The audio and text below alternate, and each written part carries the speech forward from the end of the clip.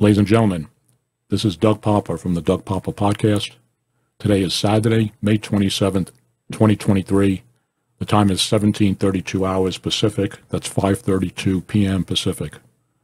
Ladies and gentlemen, as you know, if you follow my podcast, in episodes 142 and 143, I broke the exclusive story about something falling from the sky in Las Vegas, early morning hours of May 1st, 2023. And I did a, uh, in that first video that I did, you saw, uh, well, you heard a video uh, interview that I did, and I recorded the audio portion on the podcast uh, with the witness. It was about an eight minute podcast.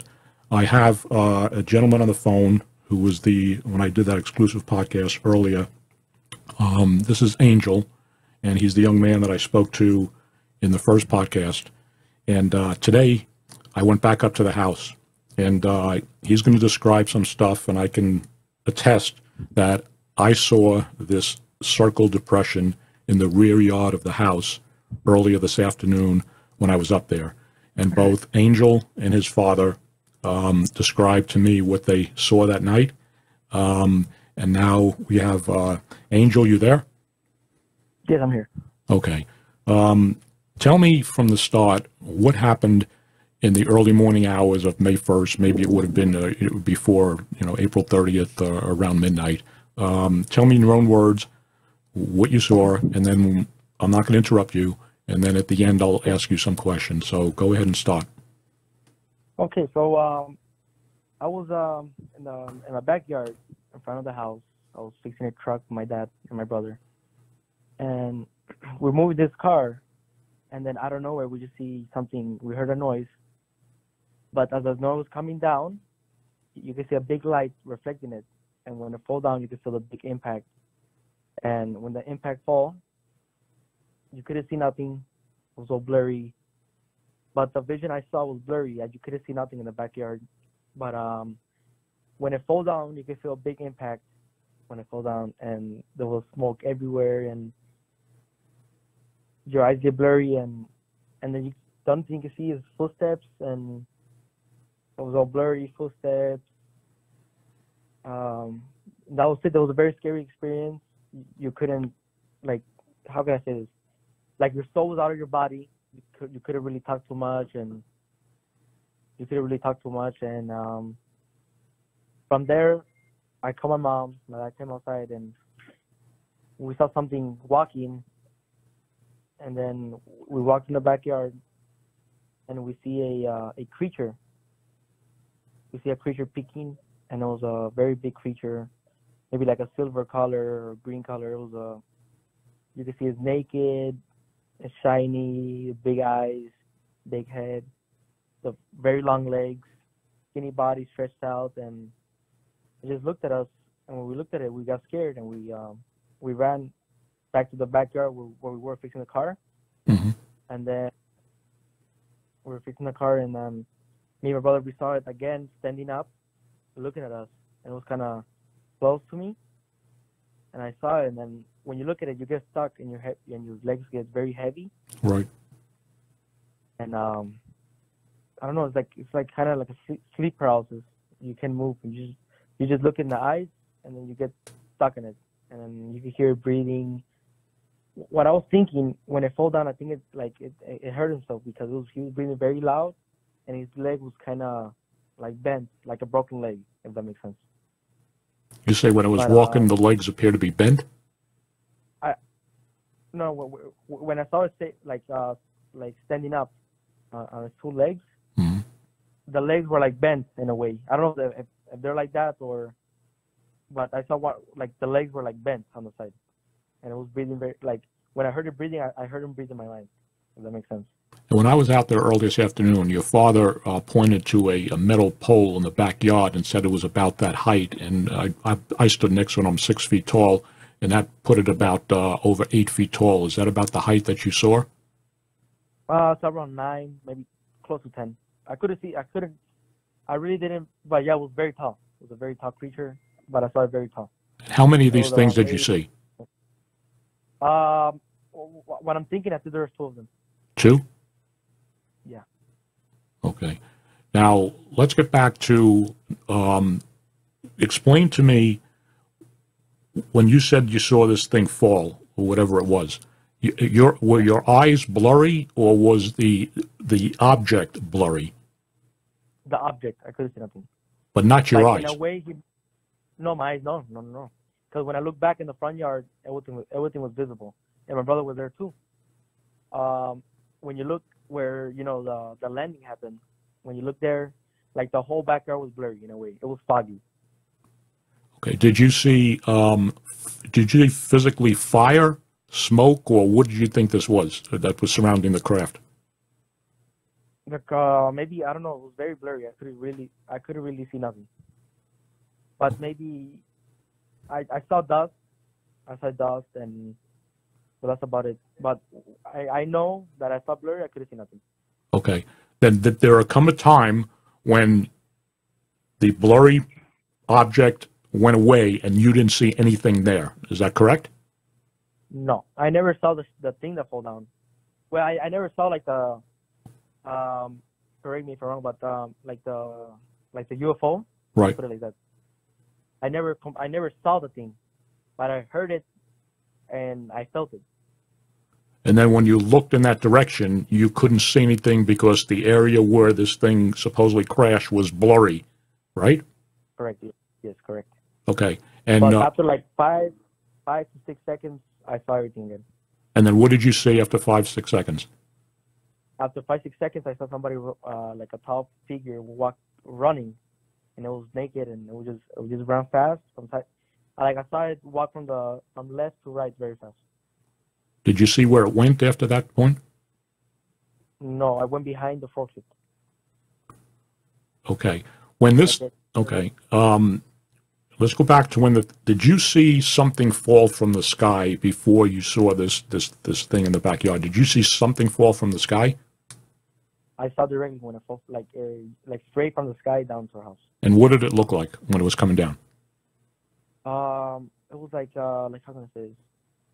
It kind of like like an object. It wasn't like uh I saw like how can I say this? Like round. Let's put it that way. Round, and it was like lights. Like it was light. Like it was like a like a shield with light on it. Like it was there was so many lights. Big light though, very bright. And what color? What The color light was the bright saw- light? What color was the bright light? Maybe like a bluish green, and then in the end it was. Oh, actually, I saw sparks when it fell down. I saw a lot of sparks. Sparks when it was falling, or when it hit the ground? When it hit the ground, I saw sparks. I forgot to mention that, but it was like uh, reddish sparks. And when I when I saw it from the sky, it was a greenish color. And when it fell down, it turned red and then blue. And then when it when I when I when I the last thing I saw was sparks, a little bit sparks. Okay. And I was out there early this afternoon. I spoke to your brother and your father, and um, your, your father told me basically the same thing that you said, and they show okay. Now, um, what happened after that? Tell me exactly what you did af- after that. What happened? After that, um, after the when I when when my sight went back to normal, I heard a lot of footsteps, and I- and I kind of in a way I heard like a little bit of uh, like voices, but I did heard a lot of a lot a lot of footsteps everywhere. Like you could you could feel them behind you, in front of you, on the side of you, and everywhere. And uh, in a in a way you get goosebumps everywhere. You you feel like you you're in a dream because like you get a lot of goosebumps it's a very scary experience. After that, uh, me and my dad, we walked to the backyard all the way in the on the wall, Right. and then we were walking back. As we were walking back, we saw in the forklift, we saw one of them inside looking at us, and had big eyes, and like it looks like like it looks at you and when you're when you're walking. It looks at you when you're walking, and it mm-hmm. blinks, and you can see it blink and everything. And now at this point, one of them is inside the forklift, Yes, like sitting down. yes. Okay. Where where where did they go from that point? from that point we me, me and my dad ran oh actually when you when you look at it you can't run you, you you cannot run because your legs get very heavy in a way like you, you really can't move that much but as soon as we you know we ran back where our yard is and then from there we just called the cops and and the cops came and there was nothing no more And what happened when the police came? The police came, so we uh, I called them all day. There's I don't know if you have the police call, but uh, there's there's two creatures in the backyard, and has big eyes and silver silver looking green greenish big eyes and and the police like oh yeah we gotta send a cop. When the when the two cops came I told them everything what happened and they and and that way they got scared. When they walked in the backyard they're like I feel goosebumps I feel goosebumps and they're like and they just like they told us um if you see any if you see anything like that again try to give us a call but they told you guys don't give us a call if you have a gun shoot it. That's, that's what they told us. They said if you like, they have, they said if you have a gun, and your, your father has open carry, right? Correct yes Okay. When did you observe this circle in the, in the, uh, in the gravel? uh when the cops came And the time on the the photographs, the time on the photographs, just so that the audience, ladies and gentlemen, when I'm uh, playing this recording into the podcast, I'll, uh, you'll see the photographs on the screen. I, I saw when I was up there this afternoon uh, uh, what looked like to be a circle a depression uh, inside the gravel in this rear yard of this family's home. And um, Angel uh, actually snapped photographs. You'll see that on the screen. Uh, and it says 1:37 a.m. on May 1st, and it's pretty clear of what you're looking in there. It is a it is a circle. Now, when I was up there this afternoon, I didn't see any burn marks. I didn't see any uh, debris. Uh, there was nothing like something was burned into the ground. But uh, the photograph you're looking at on the screen was taken by Angel while the police, the Las Vegas Metropolitan Police Department officers were there at 1:37 in the morning on May 1st. Okay, so what happened after the uh, after the police left? after the police left, we just went inside, and the only thing you could you could you could hear um like voices and that and they were walking on the roof. Like I heard footsteps on the roof. They trying to open the door, and like you get goosebumps. You really we couldn't really sleep that night. I didn't sleep that night. Okay, what are you saying? Uh, is somebody on the roof? Was that the police, or is that these things before the police got there? No, no, no I'm talking after the police left. We went inside the house because okay. So when I called the cops, they took around 30 minutes to get here. Right. around there 25 30 minutes when they came over they looked at everything not really they didn't even look at it like they didn't they didn't really like they didn't look up anything they just he told me wow look look at the circle he told me my partner she saw a light around 12 12 12 a.m so like i do believe you about this he was you know i don't want to you know make fun of them but they're very like scared mm-hmm. because they, they they know that it was real. It wasn't something I I I faked it or nothing. And actually, one of the cops told me he he showed me the circles. Like, look at this. He's like, well, was this here? I was like, no. He he meant he he showed me the the circle. He's like, look at that. And all of us were. we And that's when you took the photograph. yes. Okay. So, ladies and gentlemen, um, as you know from our first two podcasts, uh, when I covered this on exclusively on the first one and the second one, I also talked about the Las Vegas Metropolitan Police Department going onto that property. And when I spoke to the mother, that was May 19th. That was uh, last Friday when she said they came out and they stole the, the surveillance cameras. But when I was up there this afternoon, ladies and gentlemen, uh, the cameras were gone. And, uh, and you'll hear Angel talk about that in a second. But I did notice another camera that was lower on the pole that I couldn't see when I was out there on Friday, May 19th, uh, and it's facing the rear yard. Angel, tell me what that camera is and, and who put that one there.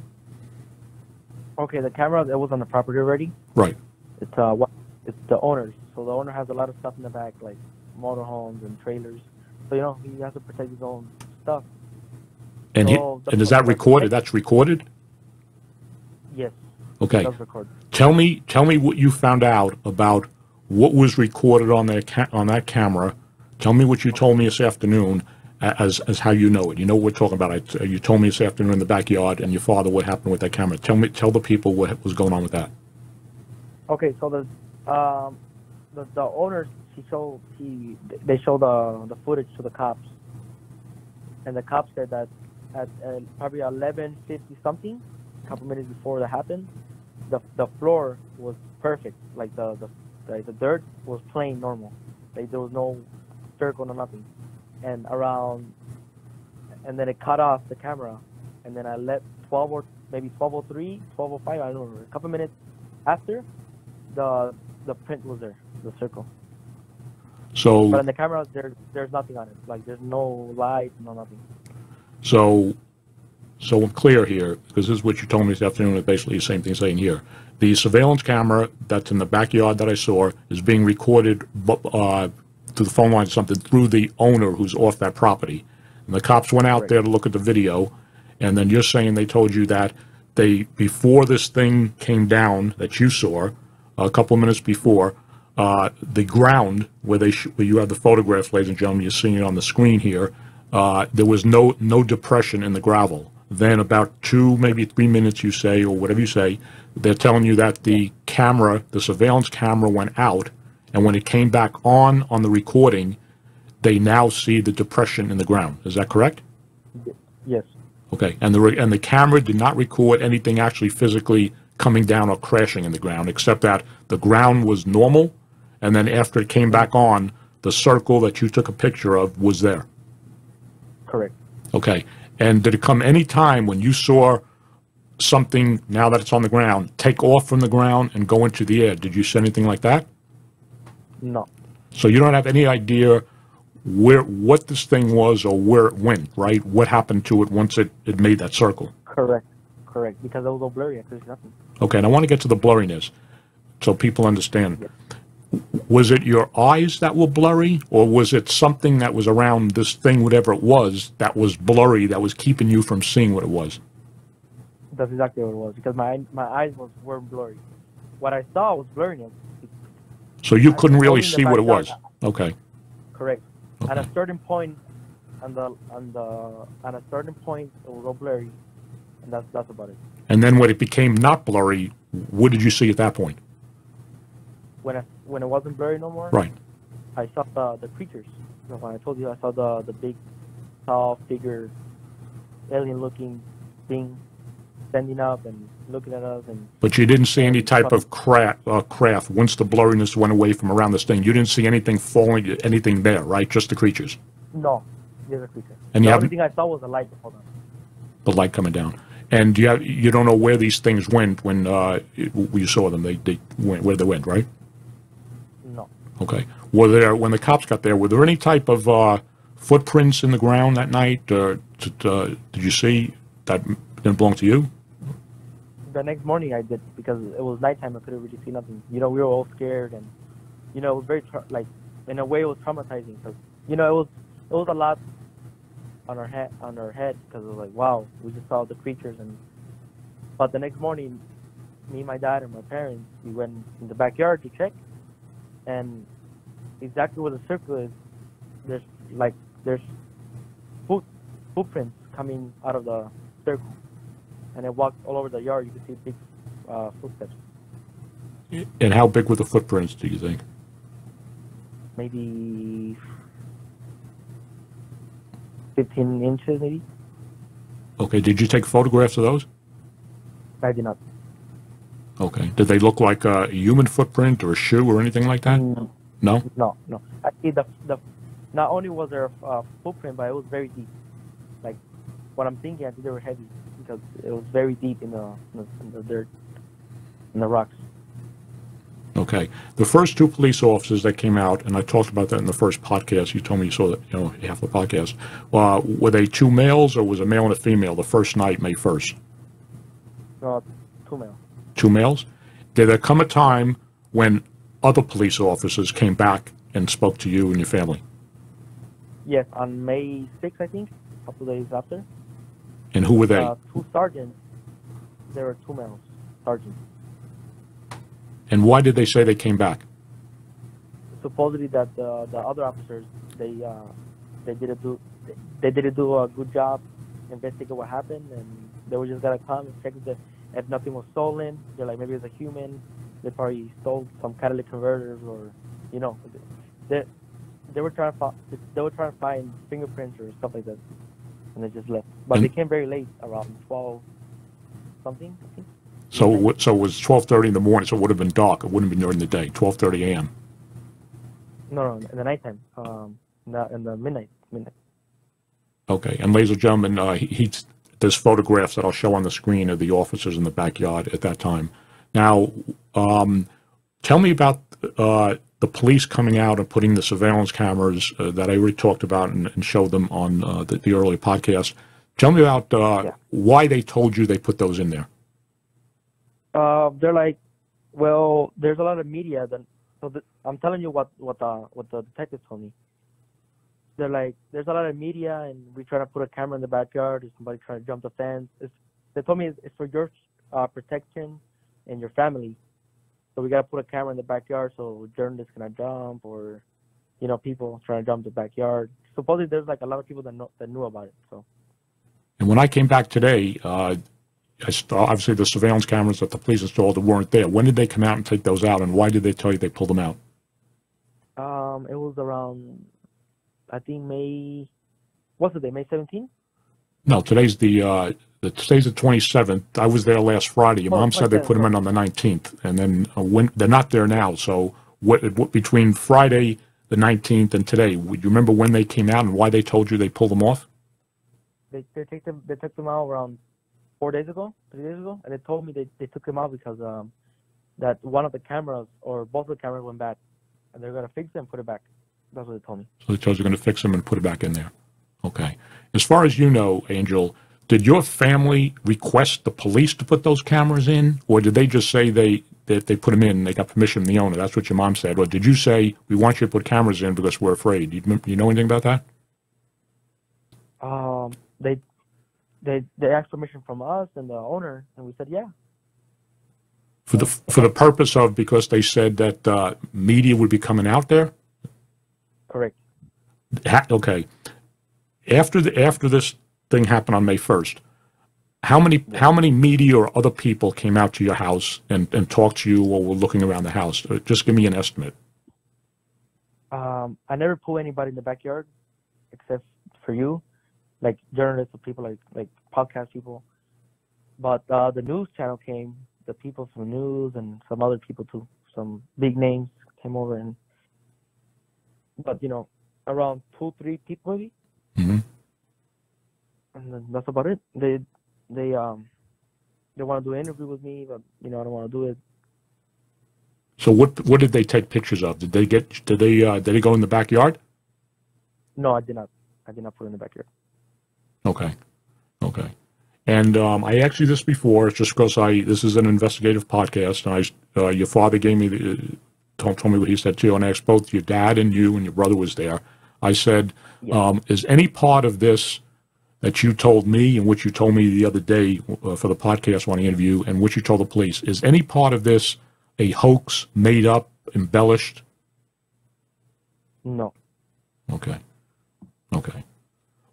What do, what do you think this? What do you think this? uh, Just give me your opinion. here. This is uh, strictly you, you, your opinion. What do you think it was, and what do you think that creature was that was walking around? Well, I think it was. I don't know. It looked demonic to me. It looked very. So it's not a good thing, but um, it looked like you know, like an alien. Like if you if you go on like on Google, you put alien. That's exactly what it looks like. But kind of different because the eyes look different and the body and yeah. For me, this is you know something that that alien. That's that's that's my opinion. Okay. And I asked you and your dad, and ladies and gentlemen, you're seeing the photographs that uh, Angel took the early morning hours of May 1st at 1:37. And when I was up there today, um, it's not as identifiable as it was there, but you could actually see there there is a circle impression in the uh, in the in the ground in the rear yard. Uh, it's more pronounced in that photograph that they took on the early morning hours of, of May 1st. And uh, you, your dad, your family did not make that circle, right? Nope. Okay. Okay. Um, what is the last contact you had with the police on this? When was the last contact and, and what did they say? The last time any police officer spoke to you about this?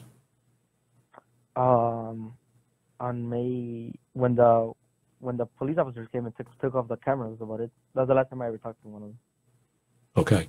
And I asked you this the other day on the podcast, and then um, Yeah. um, I asked you, has any other organ- organization, anything from the government, um, ever been out and, and physically interview you? In other words, says, I'm from A, B, and C, and I, I need to do it. Has that, has that happened? Well, the the only thing that they were they trying to talk to me was the news people and some other people too, some YouTubers and stuff. But actually, I, I forgot to mention this, but on May 6th, when Mhm. the when the when the two sergeants came, and the and the around in the afternoon, Mhm. there was uh, I was working on my on my truck. Me and my brother, we were outside in, in the yard, and a government truck passed by the house, and it was it was like kind of going slow, and there was three people inside with sunglasses and a suit, and uh, like in maybe 2010 Chevy Suburban, maybe hmm it was black Suburban, and I ran after the truck so I could see the plates, and well, the only thing I saw from the plate was the uh, U.S. government, a white plate with American flag in it. And did the, the vehicle stop or keep on going? No, just keep on going. When when I ran to it, they just went very fast, and then the corner just disappeared. I went with my truck to go look for them. I couldn't. And you clearly saw the white U.S. government tag on the on the on this vehicle. Correct. Okay. And nobody contacted you from the government after that, or even before. Is that correct? No, no, never. Okay. Um, ladies and gentlemen, uh, I've been talking to uh, Angel, and uh, he is the gentleman I spoke to in the first podcast, episode 142. You'll see that eight minute uh, uh, clip, audio clip that was taken off of the video, and um, and again in this in this exclusive uh, interview with him, and then this podcast that you're looking at now.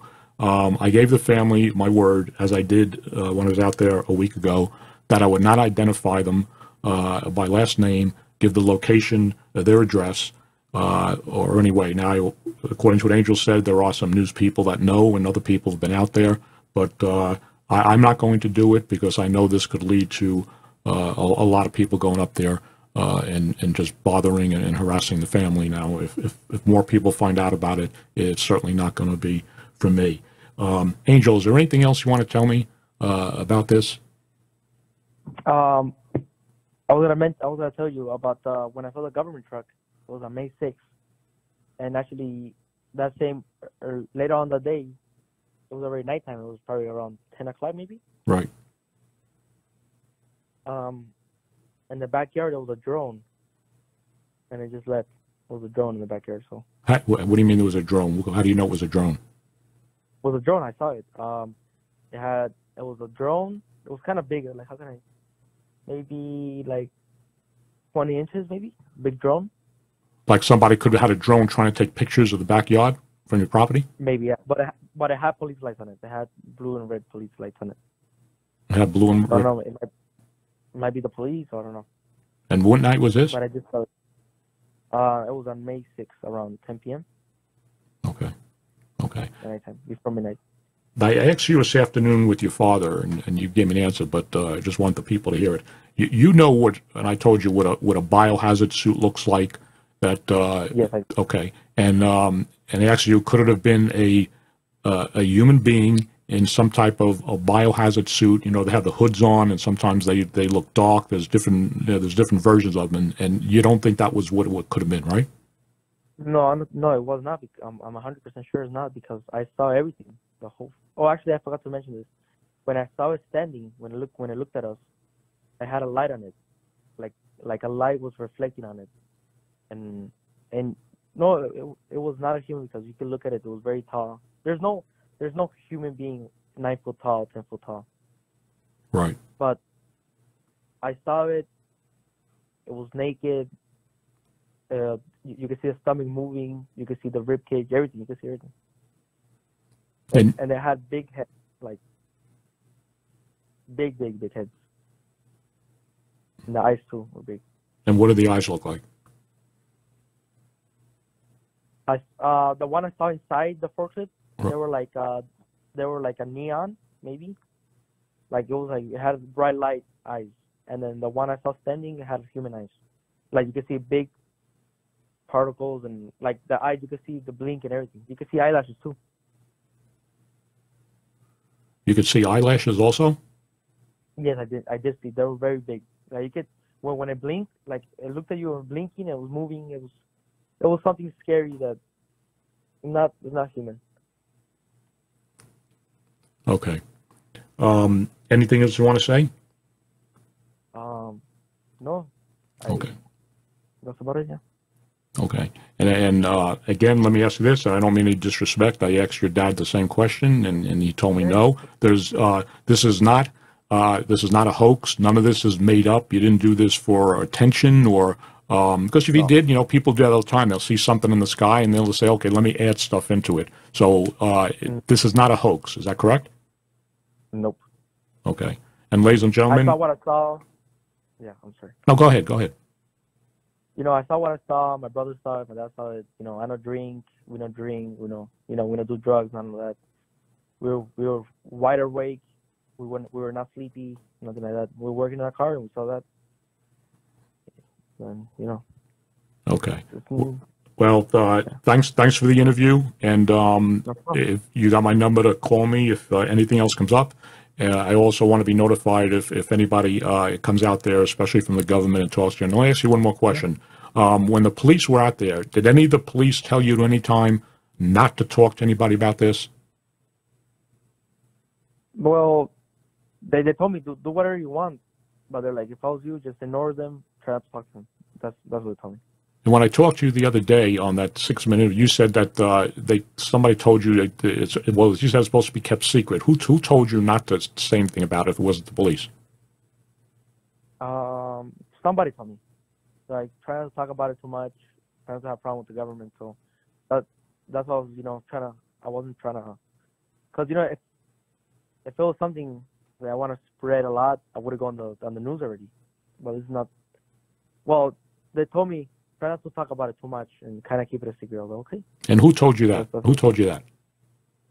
I really can't mention it. Sorry. Okay, was with it was it okay? Let me say, was it the police or was it journalist?